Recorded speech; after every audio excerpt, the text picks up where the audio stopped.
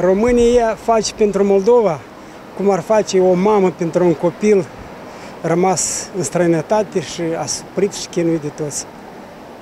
România este viitorul Moldovei.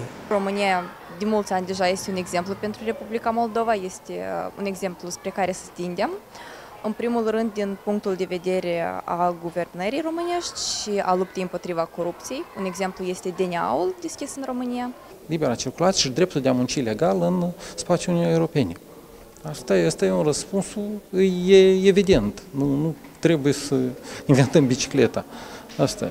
Și v-am spus, din ăștia sunt un 70% care realmente, într-o măsură mai mică, mai mare, unii la nivel de limbă doar, alții la nivel din contra de, doar de simț, simțire, alții la nivel de arbore genealogic al familiei, pentru că realmente au părinți, au avut bunici, rude care s-au născut acolo, au locuit acolo, pentru că mișcarea populației tot timpul a existat, adică nu, nu poți, nu, sunt în istorie o sumedenie de uh, conflicte sau de state care uh, au același, uh, aceeași, același popor, știi? dar o situație cum există în Republica Moldova și România, nu cred că mai întâlnim în istorie. Posibil în domeniul învățământului.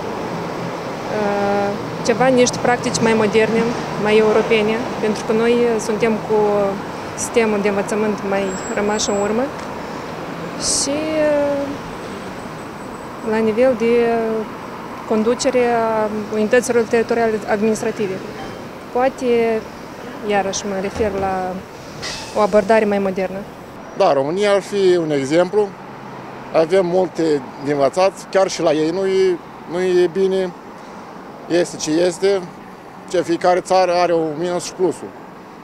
Dar eu cred că cu timpul se vor așeza toate și va fi liniște și pace și la noi în țară. Da, da, da, nici, fără, da, da, da, da, nici nu se discută, da. Drumurile, da, desigur. Drumurile, infrastructura, satele chiar cum sunt dezvoltate, sunt amenajate, dar iar am spus populația, acolo este pentru cine să faci toată asta. La noi numai Chișinău și suburbiile Chișinăului, în rest avem un oraș mai, mai mare la sud și la nord și asta e cam să se termină cu tot.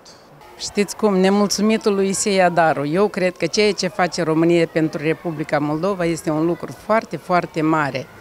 Și fiecare om își dorește mai mult, dar nu trebuie să, să pretindem la mai mult decât România poate să ne ofere nouă.